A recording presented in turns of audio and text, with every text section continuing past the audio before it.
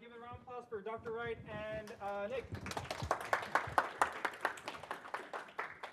Okay, thank you. It's a, you know, it's a good start to a talk when they clap before you even say anything. So, all right.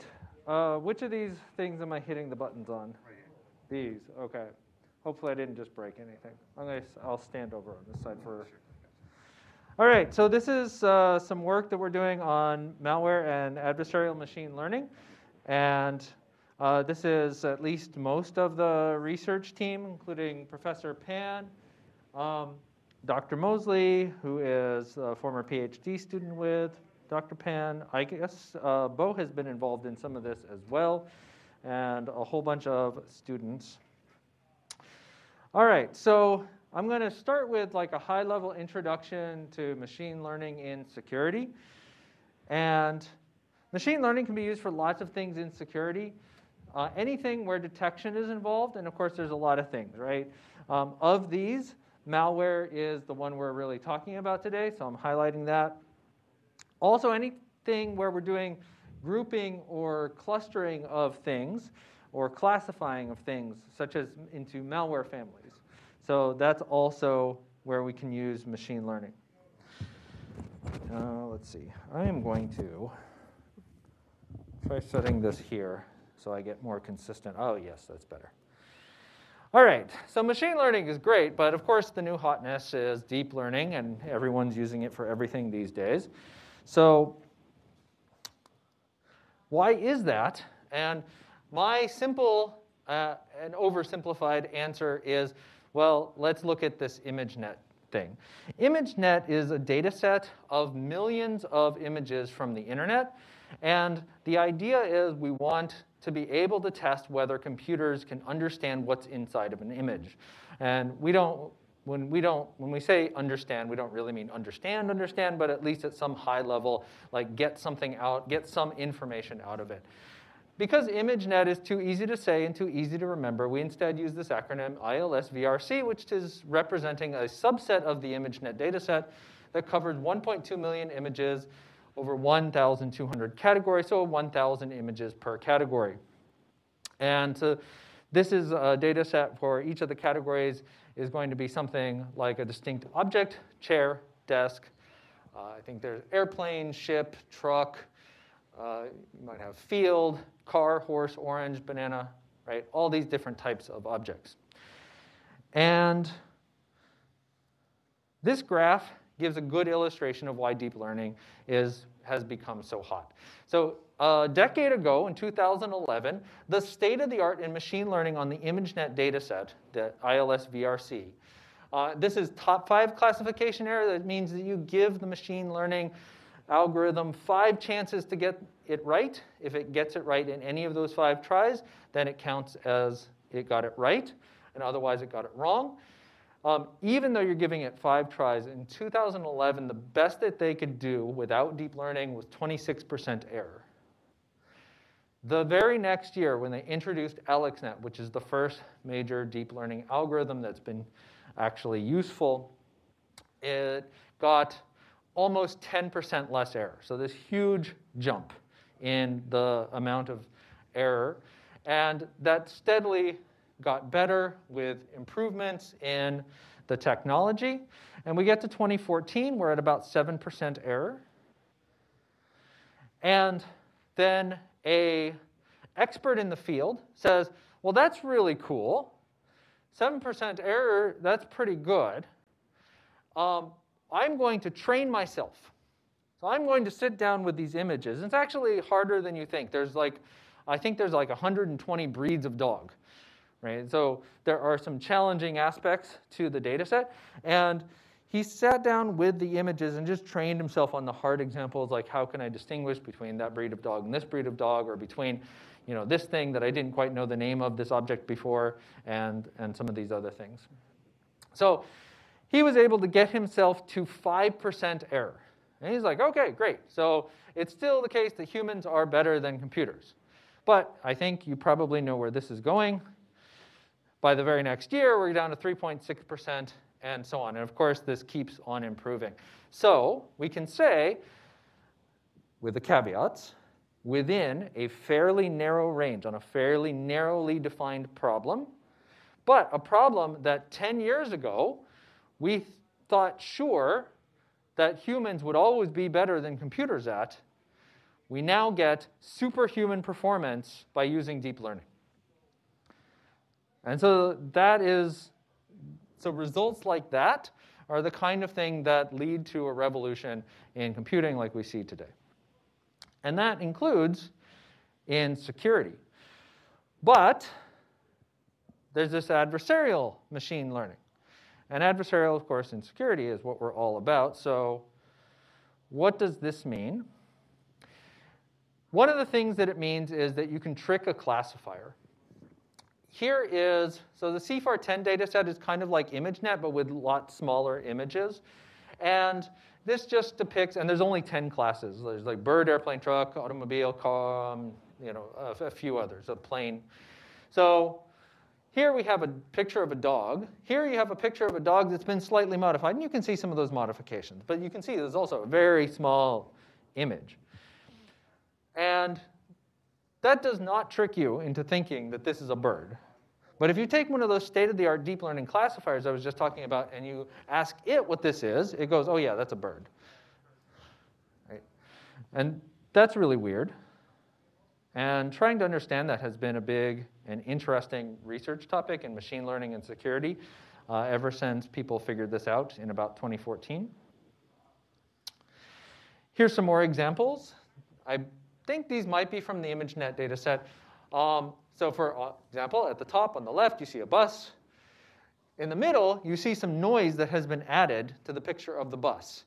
Um, and then on the right, you also see the picture of the bus. And if you look at the two pictures, now that I see them in kind of this resolution, I think maybe I can see small differences. Uh, maybe not. It's very subtle. What they've, in order to, to show this noise, they've actually taken the noise and amplified it, like just multiplied the amount of noise that you're seeing by a whole lot in order to make it visible. So you end up with pictures that are all very much the same as they were over here.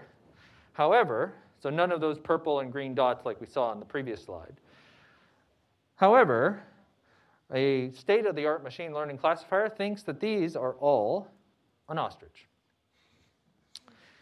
And Here's some more. And the state-of-the-art machine learning classifier thinks that all of these are also an ostrich. Yes. And so the, the other part about this is that if you make enough manipulations, you can get it. So not only does the machine learning classifier think that this is an ostrich, it goes from being like, over here, it was probably like, oh, I'm like, you know, 90% certain that this is a dog or maybe 70% certain. And over here, it's like, oh yeah, I'm 99.9% certain this is an ostrich. That is the most ostrichy looking ostrich I have ever seen. Right? So that tells you some, some things about deep learning and machine learning. They're not, right? It's not the same as human intelligence. And we get some really weird outputs and some really weird results. Now, doesn't really, like, you're probably like, okay, so I can trick a classifier into thinking my dog is actually an ostrich. Yippee. But there are some things that you can do with it that are potentially more impactful uh, or like vehicle impactful. In the case of these stop signs, these stop signs have all been manipulated. So this is a poster print. So the print have to print out a poster. Um, it's got, you see, it's got a little bit of like weird dark spots and stuff going on. Um, you would, you would kind of print that out. You maybe cut it out and stick it onto some metal in order to, to make it into a sign. Uh, this one is you take the original stop sign and you add these carefully placed stickers. This one is the same as this, these carefully placed stickers, but set up in such a way that you get, um, you turn it into like love stops hate. That's the, the idea of this. So in all of these cases, what you get is that you've turned the signs in from being a stop sign that a, um, a uh, what's the cars without the drivers? Self-driving cars, thank you very much. you take the self-driving cars and you point the cameras at them and they go, oh, that's not a stop sign, that's a 45 mile an hour sign. Vroom. Uh, in the lab, they get 100% misclassification rates, so they're able to trick the camera and the, the deep learning system 100% of the time. In a moving vehicle, it goes to 84%, so still pretty, pretty dangerous. And then here's another one that has some like security-like implications. If you want to trick a, fa uh, a face recognition system, you put on one of these fancy sets of glasses. And uh, so this is, the first one is, so this researcher who's Lujo, Lujo gets classified as this other person.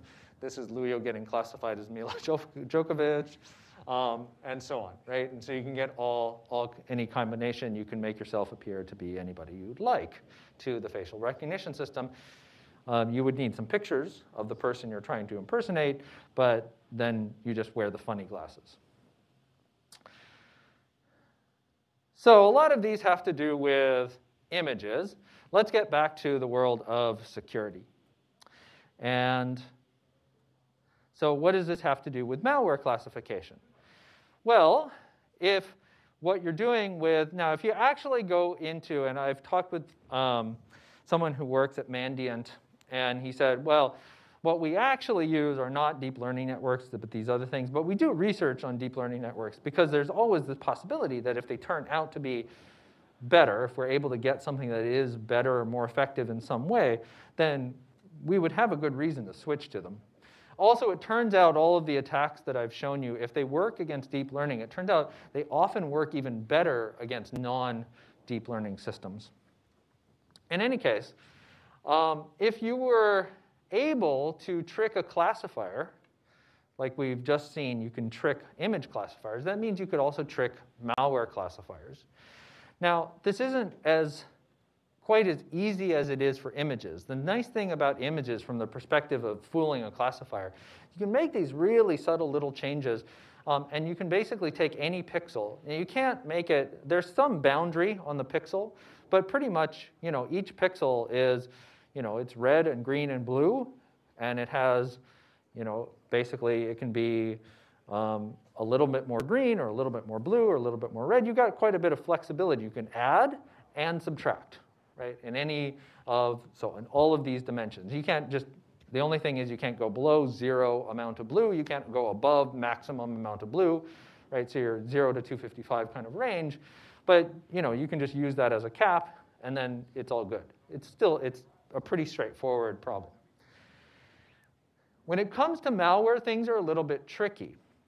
There's two options that you would have as an attacker. One is you could retain all of the basic functionality of the malware uh, by adding features. Right? So you have all of the, the malware does X, it does Y, it does Z. You say, okay, well, I'm also going to do add you know, function A and B and C onto that and see if I can use that to, to trick the classifier. That's not usually going to be sufficient at the end of the day um, because it still does X and Y and Z. And if X and Y or Z are like go off and do this malicious stuff, right? All you have to do is just train a classifier to deal with this added noise. So what's better is if you can take features that are, uh, and when we say features, it could be a lot of different things, and we'll talk a little bit about that before I kind of switch gears and hand things over to, to Nicholas. That but some of the features are just like, well, what's the malware doing, or what are, what's the actual code of the malware? And we can take some of that and we can replace it with equivalent functionality. So instead of, you might have an instruction that's like, uh, you know, add, add these two registers and put them into this other register, and you can say, well, add these, uh, add these two values put them into one register, and then copy that register into the other, register that you wanted to put it in, or something like that. So, so those are some options. Um, but of course, what you can't do is subtract functionality. Because if you start subtracting functionality, then the malware isn't going to do what you wanted to do. Um, also, any change that you make, it has to actually show up in code right? It has to, or the, you know, or the behavior of, of the system somehow. Um, and it has to still be able to run, so you can't have runtime errors. You know, you can't introduce new bugs that are going to break things, and you can't remove functionality. So those are all kind of additional constraints that are making things difficult. Nevertheless, people have done some work and already made um, malware that does evade certain classifiers. Um, so just real quickly, static versus dynamic. In static analysis, we're only dealing with code, metadata, things that we can see without running the malware. And then dynamic uh, is when we run the malware in a sandbox and we see what kind of behaviors it does. And the simplest version of that, and the one we're going to kind of focus on, is API calls. So what if we run it and we get a list of the API calls that the, that the malware makes, and then we have benign software and we run it and we see what kind of calls it makes.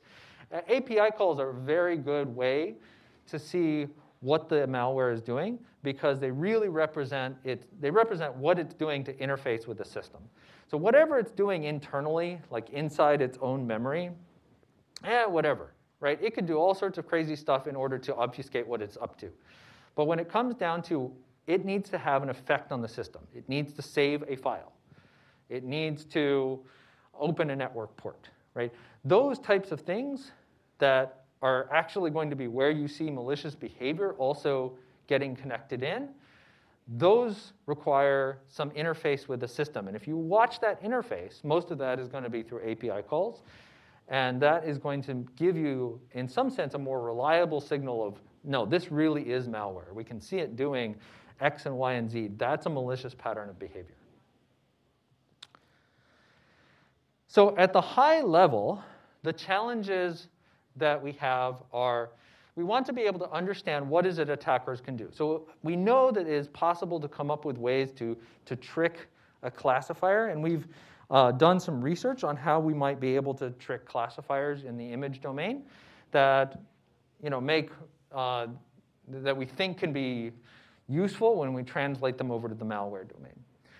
The so we can come up with these adversarial examples. We can make sure that they make malware that is both able to fool the classifier and keep its functionality and still work. So we want to make sure we understand what are those capabilities, what can the attacker do. Given this, we want to be able to generate some data. And this is where some of what Nick, Nicholas is going to talk about comes in, is that we, machine learning relies heavily on data. I said before with ImageNet, we've got thousand images for every single class, right? A thousand images of a table, a thousand images of a chair, a thousand images of uh, a horse. And it's just we need a lot of that data to extract patterns because different pieces of malware are going to be different from each other and how exactly they, op they operate and exactly what they're doing. Um, in terms of behavioral if we're doing API dynamic uh, checking, then we really need to get data that involves running the software. We can't get that any other way. We can't just take a malware sample and look at it and say, oh, that's what it's going to do, because then we could do it with static analysis. We have to actually do it with dynamic analysis by running it. So that's an additional challenge here in order to be able to do anything else in terms of detecting malware and adversarial malware.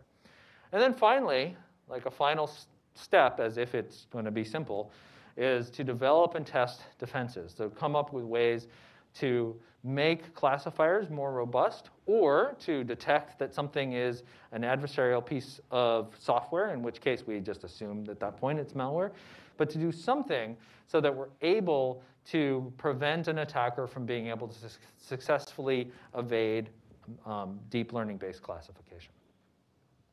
So with that, I'm going to turn things over to Nicholas.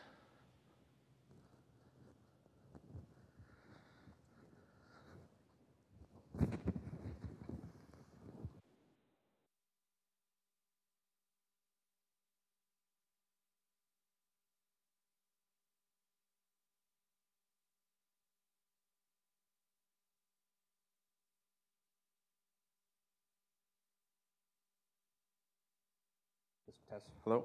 Yeah. You guys hear me? Okay, cool. So um, as Dr. Wright mentioned, Um, my project was, my research was kind of uh, based around the area of generating data. So I'm going to explain that real quick.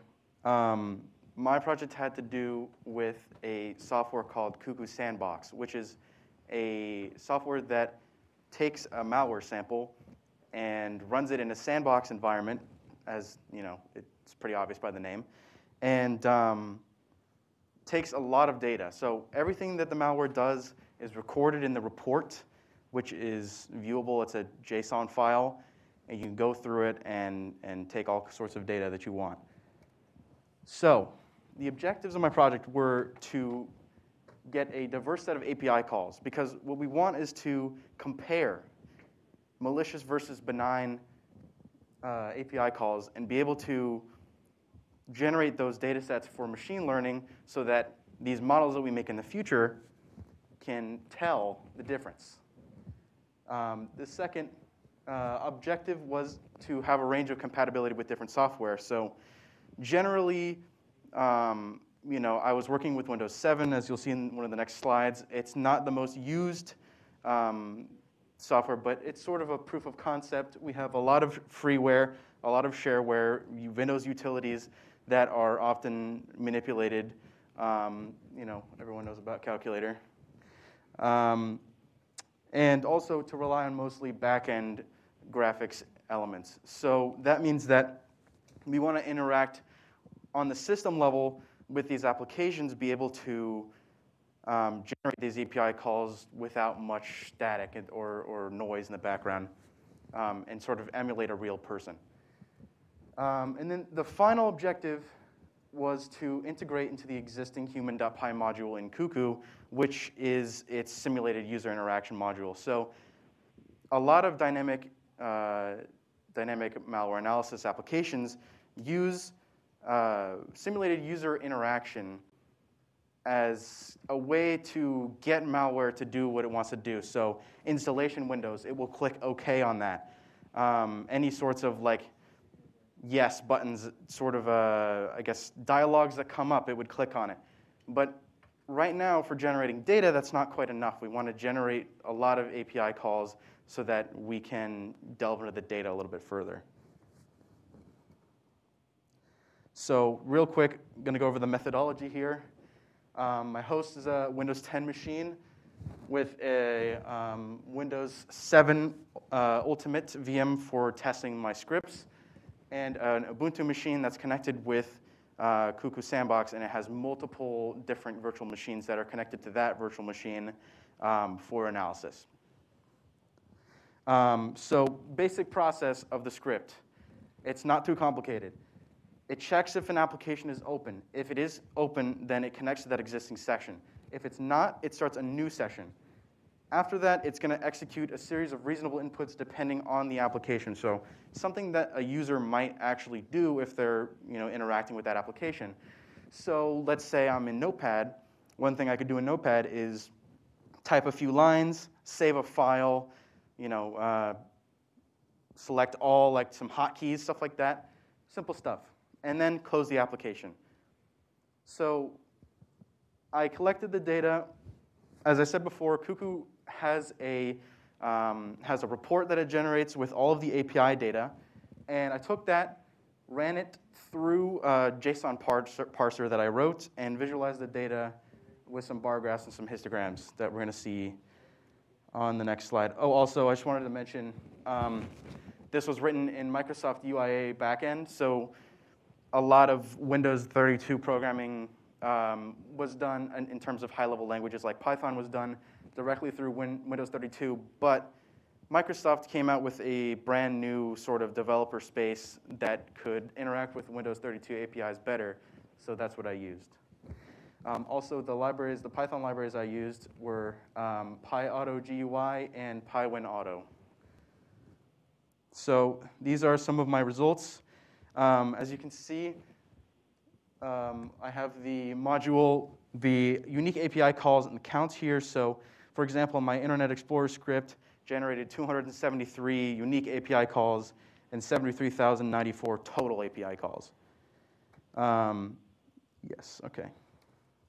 So I just want to talk about some of the issues I had. um, because everyone loves to hear about those.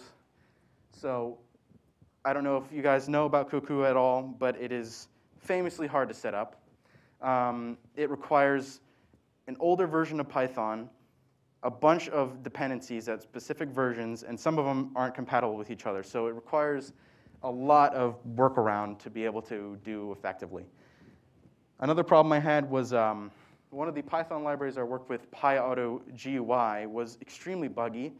Um, not all of, it, all of its functions worked as intended. It was a kind of a total mess. Um, but I made it work with some things like mouse scrolls, mouse movement, um, and uh, so that worked. As you can see, I have a little screenshot here of um, some really bad coordinate-based uh, code that you can do with PyAuto GUI. Um, and then obviously, like I said before, Cuckoo, kind of hard to set up. So data collection and testing was um, definitely was a, uh, you know, try and error trial and error sort of, uh, sort of thing, but I made it work in the end, so I'm good with that. Okay, so conclusion here. What did we learn? From this research, we learned that we can generate data sets that can compare between, or it is possible to generate data sets. We can take this API data and we can make it into a data set for a machine learning algorithm. Obviously, that's not fully integrated yet, but uh, it is possible. And with the data that we're seeing, um, it's, it would be very uh, useful. Um, what was the, was the research successful in the objective? I'd say it was fairly successful. Um, I think that we, or I, developed something that can be better uh, developed in the future to be able to do a lot of things. So as you can see, future goals again, helping populate data sets for machine learning with behavior-based data because with static data, you can't, um, it can be fooled easier. So in terms of what we're, look, we're looking for in the world of malware analysis is being able to, you know, in static analysis, you can add functionality, but when it actually does things and it executes those APIs, you can't hide that. You can't hide that from, from um, a behavior-based system. So yes. Uh, in terms of the script, I have a couple personal goals, which is less coordinate-based controls because that doesn't work. Not every virtual machine, not every machine is going to have the same resolution. Um, so that's really bad, um, especially for the Acrobat module. I don't know what the Adobe developers were thinking, but they designed their backend so badly, um, I could barely get through it. It was like, it was just horrible. Um, and then full integration with Cuckoo Sandbox. So I'd like to make it a full auxiliary module that um, people from the community can download and use and be able to generate their own data sets for machine learning so that it sort of you know, can become a community thing. Um, and then a wider range of commands and inputs for each module. Obviously, what someone might do with Internet Explorer is a bit more nuanced than for example, I made mine go to Google and search up cat videos and click on a cat video. There's much more nuanced inputs that a user can do than that, so that's something that um, would be nice to work on in the future. And then, you know, increase adaptability with errors. It's kind of a given. Thank you. I hope that made sense.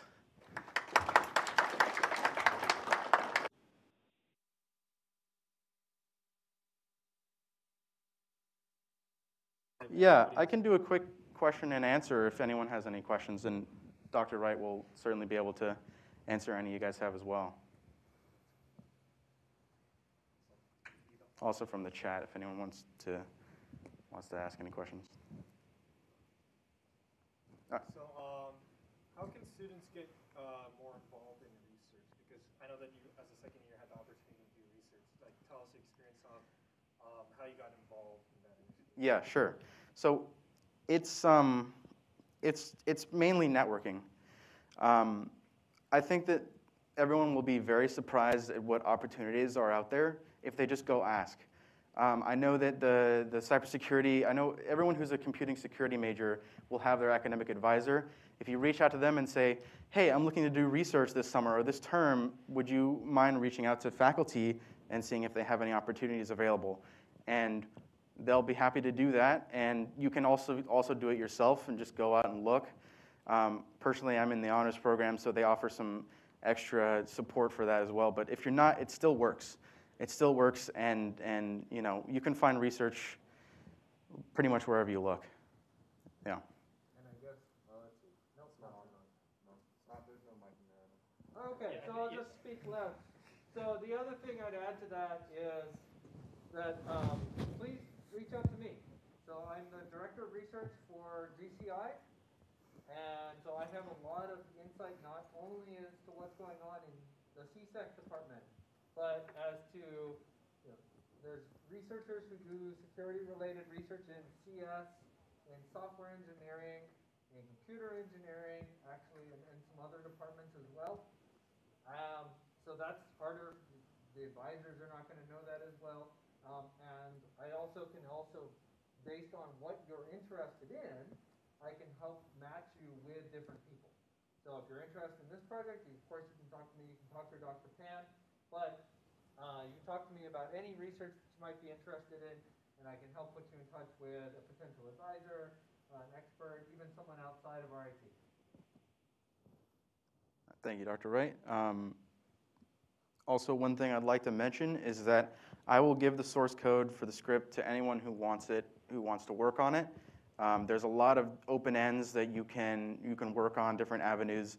So if you just want to play around with something, let me know. I'm on the um, I'm on the Discord RITSec Nicholas. I think I'm the only one named Nicholas. It's just lowercase. so just just That's actually shocking. I know, right? Um, so send me a PM and I'll run you through it. I, um, I tried to add some, some comments that made it pretty easy to understand. Um, so that as well. And um, yeah, thank you guys very much for letting me um, talk about this. I appreciate it. All right, awesome. And